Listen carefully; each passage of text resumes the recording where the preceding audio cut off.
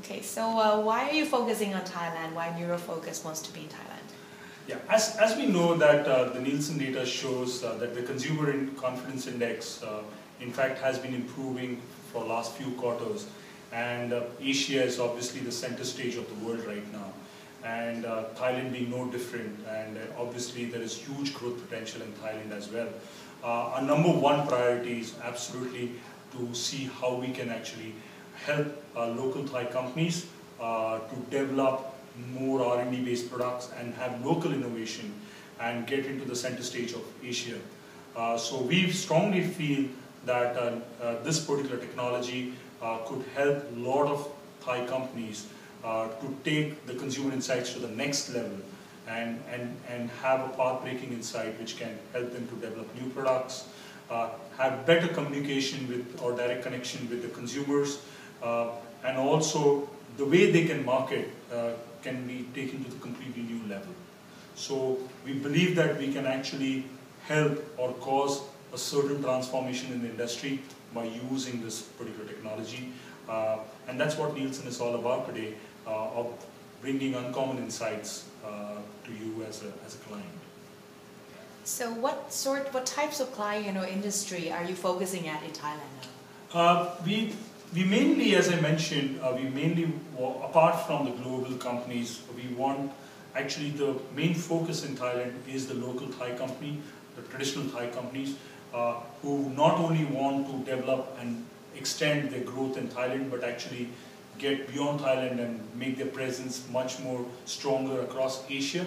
Uh, so uh, industries like media, industries like telecom, uh, FMCG, big FMCG players, Uh, you know, business conglomerates. Uh, we would definitely focus on these uh, verticals. Uh, banking, uh, finance, that was another huge vertical. So we can certainly help them and we'll look forward to working with them to see how we can actually help them grow their business exponentially.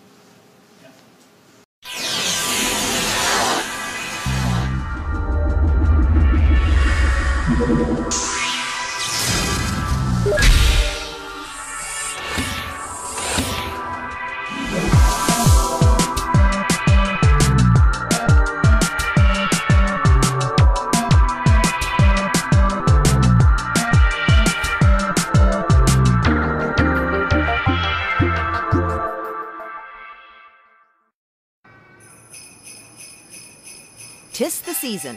Retailers want you in the door, opening your wallet and buying their brands. The question on their minds what makes one person hand over their hard earned cash while another hangs on to it? Anything that we watch, we see, we hear, we listen, we touch, we taste, we smell. Well, finally, it all ends up in the brain. So, if only we could know what persuades us? This upstart research firm in Berkeley, California is working on an answer. Instead of looking at what happens in the mall, they're looking deep into the consumer's brain.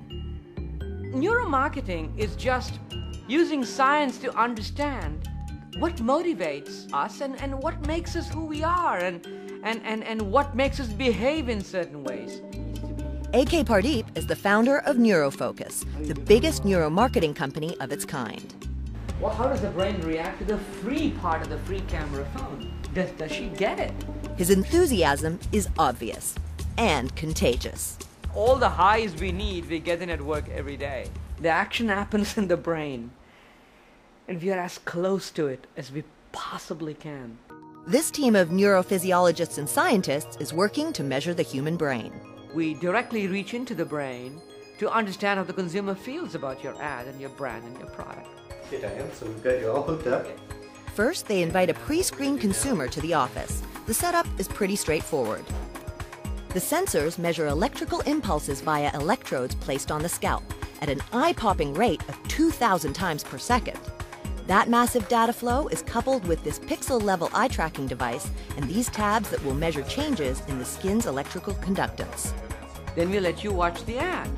As you watch the ad, second by second, in fact 2000 times a second, we look at your attention, your emotional engagement, your memory retention.